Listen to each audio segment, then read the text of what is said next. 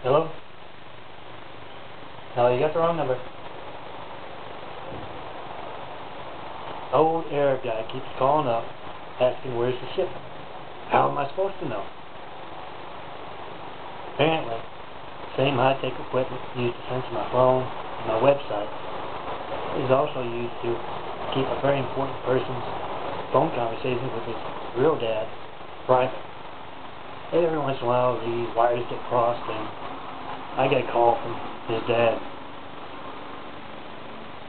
Well, if my phone number and my website are ever uncensored, give me a call and tell me what you think about my website, my videos, and my video scripts.